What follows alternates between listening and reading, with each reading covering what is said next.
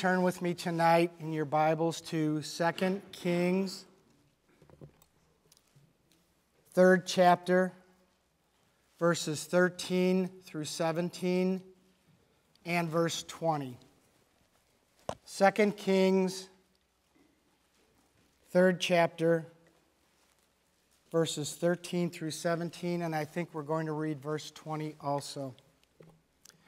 And what I'd like to do is set the stage for this passage. So here there were three kings who came to an alliance of sorts the king of Judah, king of Israel, and the king of Edom to fight the Moabites. And when they went to approach Moab and the Moabites from the desert of Edom, and after seven days of marching, the army ran out of water. And Jehoram, the king of Israel, immediately blamed God. And Jehoshaphat, the good king, king of Judah, knew better and asked God through the prophet Elisha what they should do. And this is Elisha, not Elijah. And verse 13 says this And Elisha said unto the king of Israel, What, I, what have I to do with thee? Get thee to the prophets of thy father and to the prophets of thy mother. And the king of Israel said unto him, Nay, for the Lord hath called these three kings together to deliver them into the land of Moab. Elisha said here, he looked at him and he was a bit indignant. And he looked at him and he said, Go ask your father and your mother's prophets, the pagan prophets. Ask the false gods. And Jehoram said, No, it was the Lord that called the three kings together.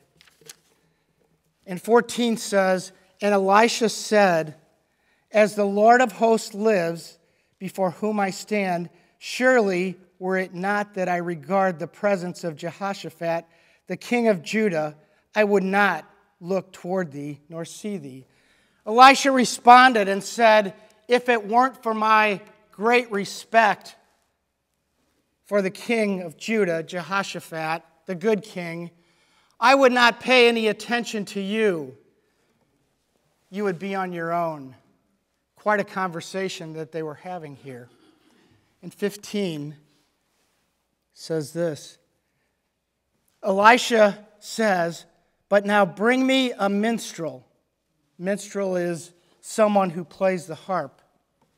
And it came to pass when the minstrel played that the hand of the Lord came upon him. A minstrel someone who can prepare me with music, someone to help me better hear from God. The use of music, this request here by Elisha, the use of music was associated with worship and praise. And it's done that throughout the Bible.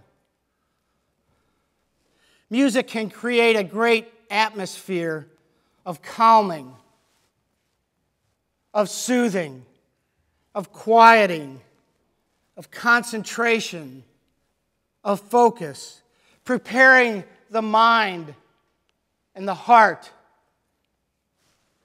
for God's presence. Think about how we feel as God moves in this place. When the music is anointed and the words of a song or the music touch our hearts. It puts us in a frame of mind and an atmosphere of getting things out of our mind and getting our mind on Him and our heart on Him.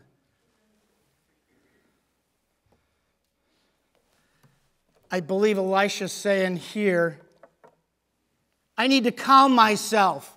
I'm upset with them. They're asking me to do this, and they're not serving, and they're not doing, and they're going to prophets that are idols. But it was a time, I believe, of spiritual preparedness to get into God's presence and receive the revelation that God had for them. It's to put our mind in a place of receiving God.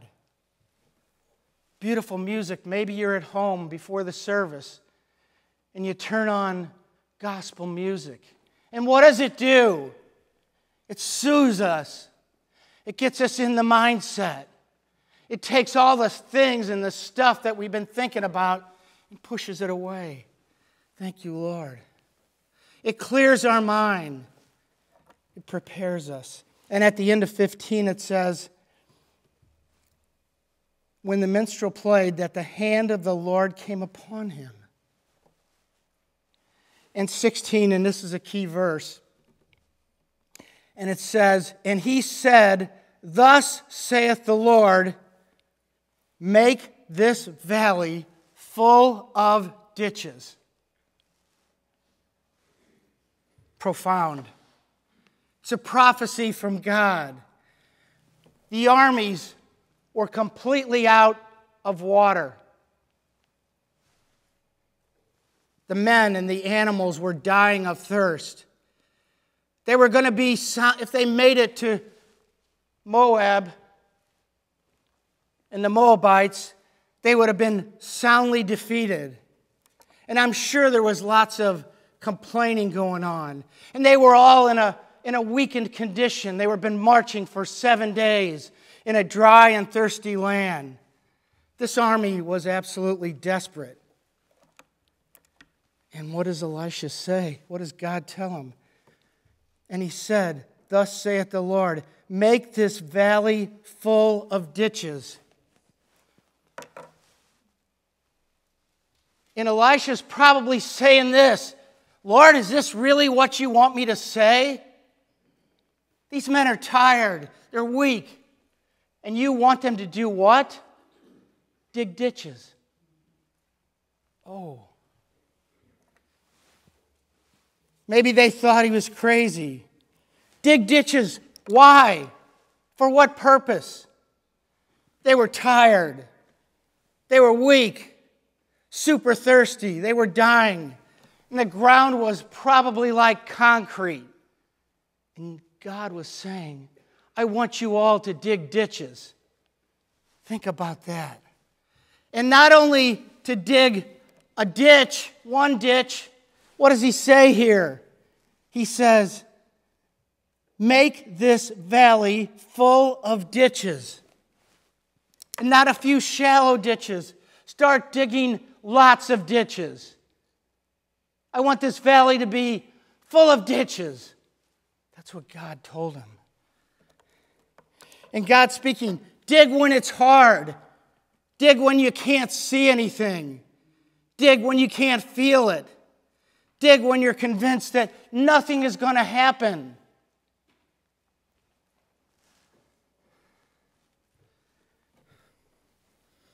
Brothers and sisters, it's about preparation.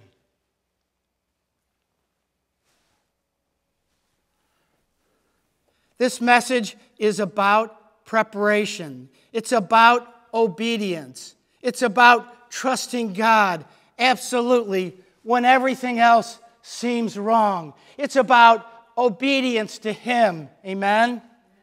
Thank you, Lord. It's about faith. It's about doing what He tells us to do. It's about believing God, especially when we don't see anything. And furthermore, verse 17 says, For thus saith the Lord, Ye shall not see wind, neither shall ye see rain, yet the valley shall be filled with water, that ye may drink both ye and your cattle and your beasts. What?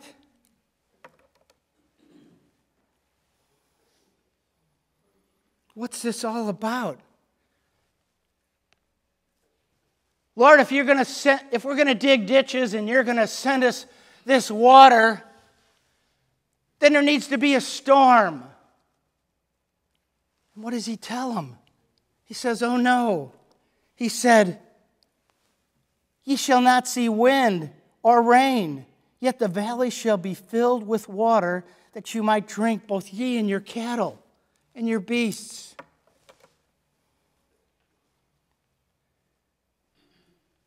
God didn't say he was going to send a storm.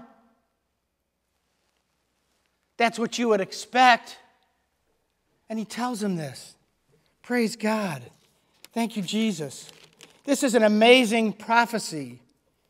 And I'm sure that Elisha may have wondered what is God having me say here?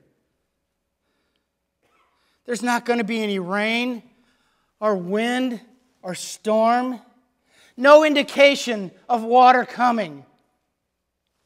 That's believing God when you don't see it in front of you.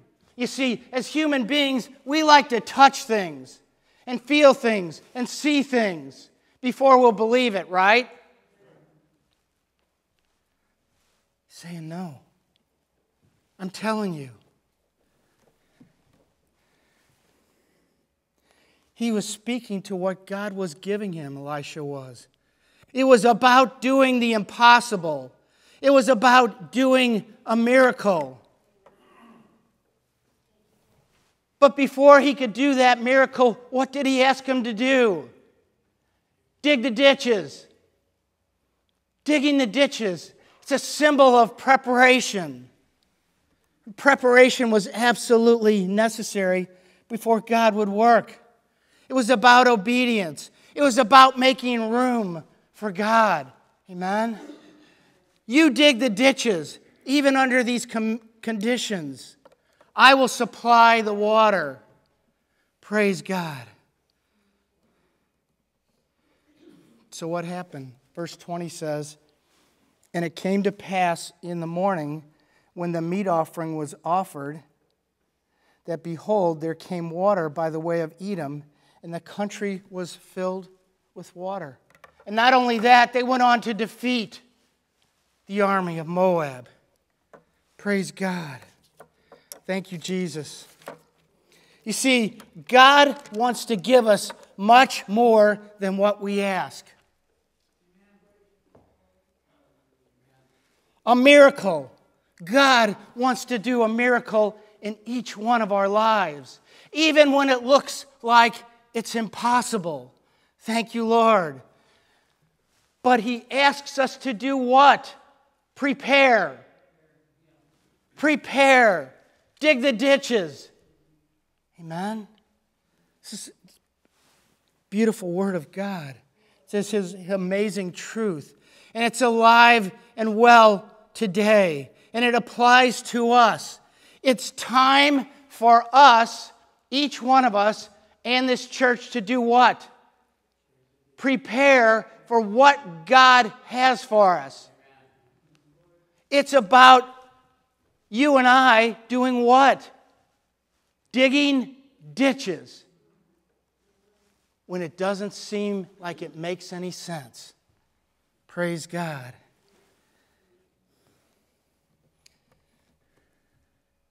He's telling us today that in times of desperation, and we have some of those, when all hope is gone, when we have all but given up, as the armies did here, where there's nowhere to turn, that He is in control. And that nothing, absolutely nothing, is impossible. And as we wait for the answer from God, we have to prepare.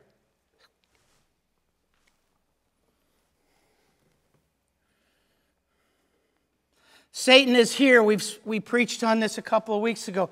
Satan has come to, to kill, steal, and to destroy. He's here to take our families away from us. He's here to send our kids and our grandkids in, a, in His direction. But God's saying, oh no, those are my children. It's a time of expectation from our God. What is God expecting from you? Do you know? For us, it's a time to begin to dig ditches, a time of preparation, a time to make room for the answer that God is going to send. Let me ask you a question Is your life filled with ditches? Have you been digging ditches? Are you prepared for what God is going to send you? You see, we like to prepare by asking God for these things. God, we want to see a great revival in this church. Don't we want to see a great revival in this church? Amen. God, we want to see the baptism of the Holy Spirit in this place. God, we want to be on fire for you. But what does it take? We've got to dig those ditches in preparation for that. Praise God. Think about all the rain that we got yesterday. Tremendous amount. And I watched the rain. And in many cases, it was raining so hard that the water wouldn't saturate in to the ground. It was running off. It was being wasted. It was going, it was coming down. We have a little hill in the back, and it was coming down that hill and going down the driveway into the street and into the sewer. It's wasted. God's saying the same thing here. We've got to have preparation. We've got to have those ditches dug. Amen? Praise God. The water would be wasted, it couldn't be collected for later. And this relates to us. Prepare yourself tonight. He's saying, prepare yourself for what He's going to send us. Amen? Isn't that a little bit exciting? Isn't that a lot exciting? Well, Brother Steve, you're kind of getting out there. Oh, no. God has great things that He wants to send us. It says it in His Word. Praise God. He wants us in a state of readiness. Well, how do I get ready? Dig those ditches. What does that mean? Be ready. Dig your ditches. Be ready for what God's going to do. Are we prepared when God is going to move? When God moves on this place, we need to be ready. We need to be ready and expecting and accepting what He has for us. Great mighty things. Or are we living in the negative? Oh, you know, it's been a long time and nothing's going to happen and it's the same old, same old, and it's, you know, just going to keep going. What do you think God thinks about that? When we have a negative attitude, that nothing's going to happen. Put my mind in a place where I have expectations of what my God is going to do. Amen? Praise God. Praise God. Are we prepared when God moves? Are we ready for what God is going to do in our families? You have issues in your families? I think we, if I ask you to raise your hand, I think we'd all raise our hands. Right? Amen. We all have problems. What's God going to do in our families? He's going to do miraculous things. But let's get Let's get ready. Let's get prepared. Let's get prayed up. Let's seek his face. He's not a genie in a bottle. Uh, fix my family's God. Oh no, it's about me preparing for that and expecting that. Oh God.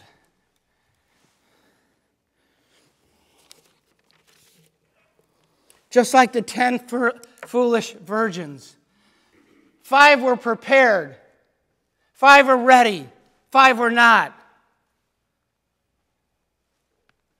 Five were shut out. I don't want to get shut out. Amen? When God sends his blessings, when he moves, I want to be ready. Don't be caught unprepared. Dig those ditches. Brother, that's a really hard ditch. Did you ever dig a ditch or really dig a ditch? It's hard. And when the ground's hard, man, it's like concrete. It's tough. It's really hard. And sometimes we give up. It's like that in our spiritual life. I'm not making any progress, Lord. I'm, I've only gotten an inch dug here in our spiritual life. Oh no. You keep going. You keep pressing towards the kingdom. Amen? Thank you, Lord. Be prepared. We want to have dug those ditches, ready to accept the spiritual blessings He's going to send. I love this word tonight. When He gave it to me, I said, Thank you, Lord, because it indicated to me that I had some work to do, that I had to get my shovel, my spiritual shovel out, and do what? Dig those spiritual ditches. Thank you, Lord. Are we being proactive or reactive? Ask yourself the question. There's quite a difference. Proactive is to begin digging your ditches now when it doesn't seem possible, when it th- seems like things are just too hard because God's going to send us great blessings. And reactive is digging your ditches when the water is already here. And sometimes you can't keep up with it. You can't catch up with it. Or it's muddy, if I put it in the physical sense. And that's the same way in our spiritual lives. We need to be focused and intentional about God. Thank you, Lord. Praise God. Serving God, excuse what I say here a little bit. Serving God is not serving Him by the seat of our pants. When things come up, I'll take care of it. I'll do it off the top of my head. Oh no, God expects much more from us than that. Dig those ditches ahead of time. I love what he says here. Make this valley full of ditches. Make this valley full of ditches. Amen? Make your lives full of ditches. Praise God. We need to make a conscious decision that we're First of all, trusting in God and believing He is the God of the impossible and the God that's going to answer our prayers and the God that's going to send us blessings. Do you all believe that? Praise God. Bring in our loved ones. He's going to give us great and mighty things. He wants to give us great and mighty things. Live a life of expectancy and blessed assurance. Live a life of preparation. Begin digging the ditches in the valley right now. As you go home in your cars tonight, begin to think about digging ditches in your spiritual life, readying yourself, preparing yourself for what God has, because it's going to be amazing. Be prepared to accept what He has for us. Claim the victory as we preached the other night. And once we dig the ditches, wait for the victory. Once you begin to dig the ditches, get up in the morning, the next morning, and look to see if those ditches were filled. Because God's promised to fill them. Amen.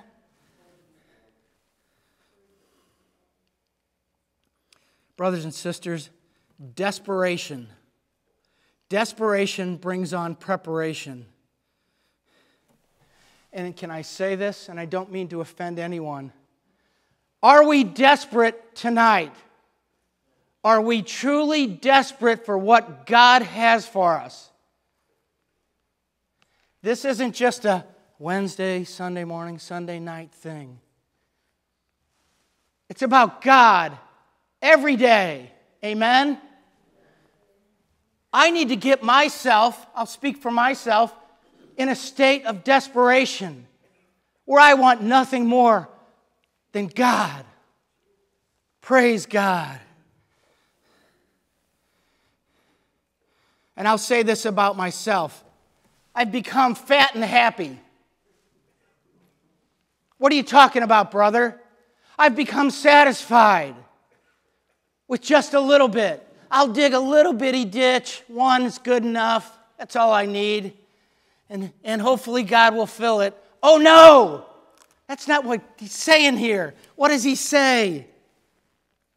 Make this valley full of ditches. I love that. Dig that ditch. Dig those ditches. Praise God. Okay, Pastor, I'll dig a ditch, just a little one. That's all I really need. Oh, no. I'm good. No, you're not good. You think you're good. Be careful of what God is speaking to us here tonight.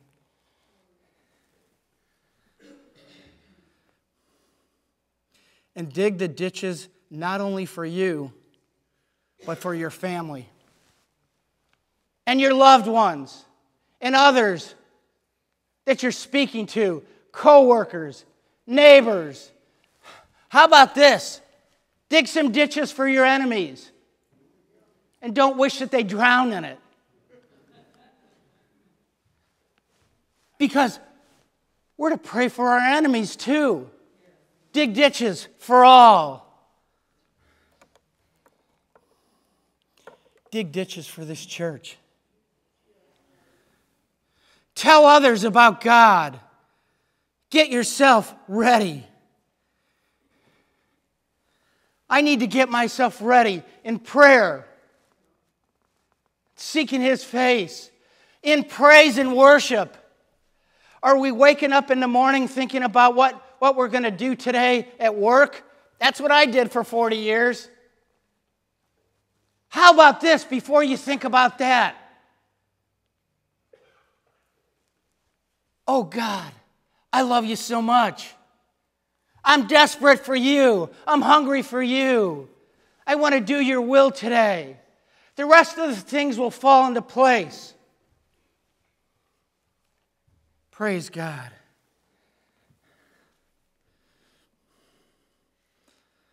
The church needs to find itself in a state of desperation desperation for the work of God, for a great outpouring of His Holy Spirit, a great revival. Get ready for it. Prepare for it. Dig the ditches and get ready for it. And I was thinking about this as I was preparing. In the last 25 years, think about this. This country has gone through many major things. The 911 attack, the coronavirus, the pandemic that lasted two or three years, killed many. 911 attack killed many. And just recently, former president shot. And, it, you know, I'll say this it's a time that I really believed after these type of things happened that the church would return to the Lord, that the people would begin to return to the Lord. But guess what? It's a temporary thing. We all thought, man, the church is just going to come, everybody's going to come close to God because of all these things that He's putting in front of us. Not so much. Find a place of desperation, a place where we would begin digging those ditches, a new dedication to serving the Lord and prioritizing Jesus in our lives. And I'm just not sure that this is happening. But you know what? It can happen here. Amen? Do you want it to happen here? Oh, yes. Thank you, Lord. Start digging the ditches.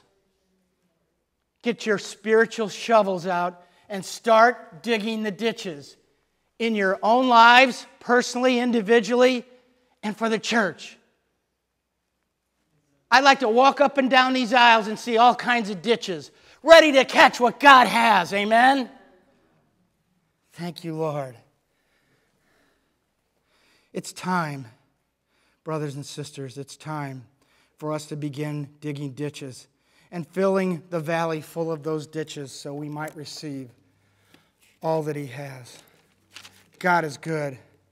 I'm over the top excited after He gave me this message because I know what I have to do. I know that I have a lot of work to do. I know that it's a preparation time for this guy. It's a time for me to dig ditches. Amen. I'm excited for what God has spoken to us tonight. God is good. Amen. And I am ready. I am more than ready. And I'll get a big shovel and we can dig some big ditches if you want. I'll dig a ditch with you. But I'm ready to dig ditches. Amen. May the name of the Lord be praised. Thank you, Lord.